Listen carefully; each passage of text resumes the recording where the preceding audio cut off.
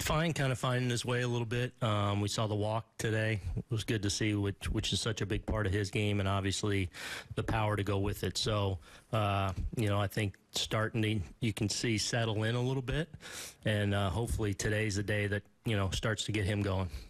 Brett Gardner had struggled at the plate, just two hits in his previous 27 at bats coming into today, and obviously had three hits today. Did you see something different that he was doing as far as approach at the plate? Not much. I, I you know, I thought he was. I thought he went up with a good plan that first AB and and was real aggressive early, kind of hunting the fastball there, and hits the homer obviously, um, which was big.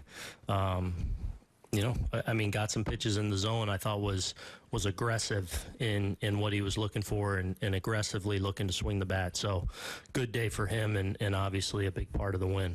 Kind of a bizarre rally there in that sixth inning with a lot of walks from Tampa Bay pitchers and error that kind of continued things there. I imagine you'll you'll take whatever you can get when you're playing a team like that. Hey, absolutely. I mean, that's that's a great example of you, you, control the strike zone, you can have an inning like that. And if you're playing against a team like Tampa Bay, you better control the strike zone or they're going to make you look bad.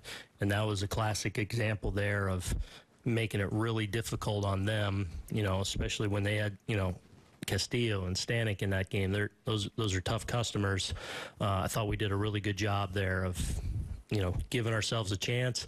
You know, Thairo breaks it open, obviously, but a lot of really good at bats in that inning. Joe, to the left. Uh, how would you assess the, the pitching plan for today? Um, and does this pave the way for, for more openers? Um, look, I mean, with our situation, it's certainly possible that we could use it.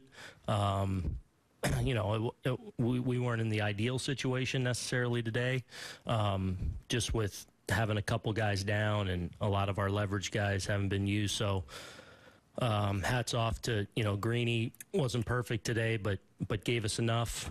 Um, you know, Nestor came in, gave up the home run, but kept on pitching and got us through the middle innings. Obviously, Otto gets us out of a huge jam there, and then by by adding on, now we're able to get length out of Chance and kind of save some other guys down there. And, and Chance came in and, and really, I thought, threw the ball really well. Dan. That was uh, Urshela? Uh, I think he's okay. You know, it was just, you know, having a little hard time running, and um, I, you know, I don't think it's anything too major, but we were kind of cautious there with just he wasn't feeling great and decided to get him out of there. Meredith. Anyone else? Joel.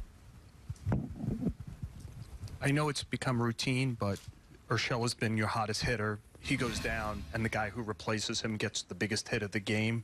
Do you have some thought, appreciation that it feels like whatever button you push, somebody's ready to do something significant for you? You know, Thairo to me has been, you know, one of the faces of what we're doing right now. Um, again, you know, missing a lot of last year. This guy's a prospect.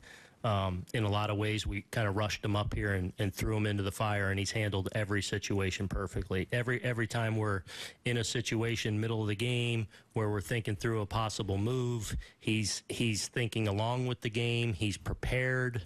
Um, he goes out there and plays with with a calm and a poise, and he's come up with a lot of big hits, a lot of big defensive plays. Um, he's been he's been a really good player for us.